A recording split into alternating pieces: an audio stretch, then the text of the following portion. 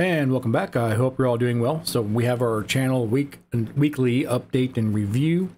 Take a look at the top 10 on Steam, an article from the news, and then I do have a game recommendation this week, so we'll uh, hit that and then we'll wrap everything up. So it should be a fairly short video. Let's go ahead and open up the calendar. And uh, last week we did get Steam episode uh, 25 uploaded, or 26 rather, I'm sorry. 26 went up on Thursday. That's the wrong episode number. Let me edit that real quick. Should be 26. And then last night we got the uh, Terminal Part 1 uploaded. And now we're working on the channel update. So this coming week, I'm going to get out Steam Library episode 27. I am working on a video for setting up a racing wheel and a uh, flight stick on Linux. Um, that may not be up this coming week. I'm kind of messing around with it right now uh, trying to figure out and tweak a few things on it. So, so stand by on that. That may be the following week or maybe even later than that. But then on uh, this week also coming up, uh, the terminal part two of our terminal walkthrough, the terminal commands rather. And then of course we'll have the channel update and review either next Saturday or Sunday. So that's the outlook. And um, taking a look back, there are quite a few videos have gone up this past month. So anyway, um, we'll go ahead and close this out and take a look at the channel update. So really nothing um, nothing to talk about on the channel. Uh, we have a few new subscribers. So for those of you who are new, welcome. I uh, hope you are enjoying the content and getting something out of it.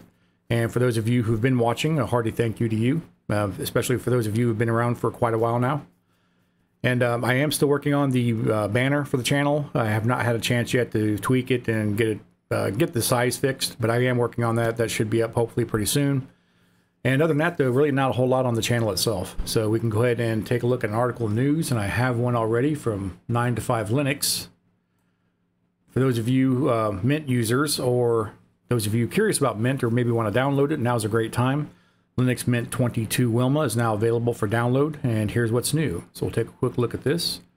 Linux Mint 22 is now available for download as the latest stable release of this popular Ubuntu-based operating system for the masses featuring the Cinnamon XFCE and Mate desktop environments. Dubbed Wilma, uh, Linux Mint 22 is based on Ubuntu 24.04 LTS long-term support and Noble Numbat uh, operating system series and uses the Linux kernel 6.8. Um, it will receive security updates until 2029. That's quite a long time and new kernel versions as well as, oh, I'm sorry, and new kernel versions as they're available upstream in the Ubuntu 24.04 LTS repositories. Let's scroll down here a little bit and see what's new or what's included. So we have Linux Mint 22 comes with Pipewire as a default sound server, support for the new Debian Deb 822 format, GTK4 support for themes, improved HI DPI support during boot, better language support, artwork improvements, and FAT20, or I'm sorry, FAT32 in file system transport mode, support for the ISO images.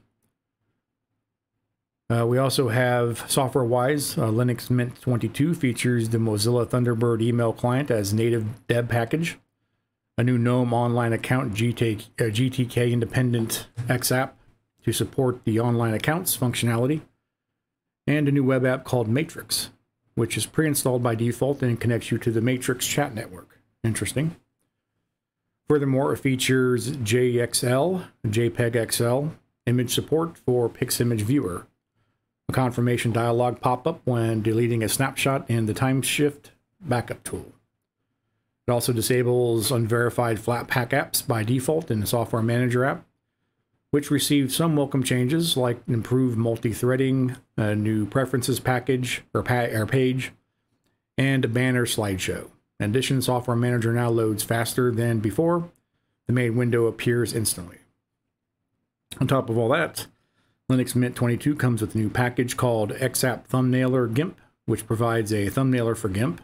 Oh, that, that is really interesting. Um, and an updated XFCE4 XApp status plugin tray applet that allows you to configure icon sizes and for full color and symbolic icons. Huh, very interesting. So if you want to go to the release notes, you can check those out at linuxmint.com. And I'll put these links in the description below. All right, so not much more else in the news. Well, there's quite a bit in the news actually, but this is just the one article that struck me and I wanted to share with you. So we'll go ahead and close this out and check out the top 10 on Steam. So we have the top 10 on Steam right now and the top 10 games. The First Descendant, Elden Ring, Counter Strike 2, Path of Exile, Warframe, Once Human, Dead by Daylight, No Man's Sky, Baldur's Gate 3, and Earth Defense Force 6. Again, I'm not counting Elden Ring, Shadow of the Erdtree, that's a DLC, and of course the Steam Deck is not a game. Let's check out the most played. Top 10 most played currently, we have Counter-Strike 2, Dota 2, Banana, PUBG Battlegrounds, Path of Exile, Once Human, Elden Ring, and Grand Theft Auto 5, Rust, and Apex Legends. All right, let's check out the top 10 on the Steam Deck currently. And doesn't look like much has changed since last week. Elden Ring, No Man's Sky, Stardew Valley, Baldur's Gate 3, Balatro, Grand Theft Auto 5, Slay the Spire, Fallout 4, Red Dead 2, and Hades. All right, so we'll go and move into the last section here. I do want to, I do have a game I want to recommend to you, something I've been playing a little bit and really enjoying it actually. And it is on Steam. It is called She Wants to Kill Me. Yes, that is the actual name of the game. Let's go to the store and let's look it up. She wants to. Oh, I'm sorry. She wants me dead. Not she wants to kill me. Uh, this game is $7.99 on Steam right now, and I've been playing it, and I'll show you a little clip here of some gameplay. It's a fun game, very difficult. Well, I say very difficult, but for me, it's a bit challenging. Uh, for you, it might be a walk in the park. But anyway, so check out the gameplay, and then we'll wrap it up.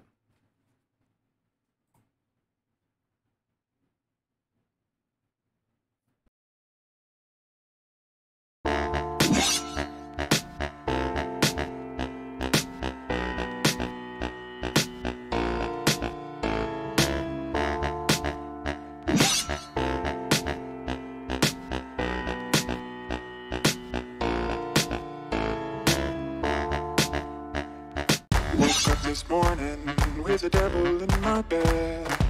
In the air, everywhere, in my veins and in my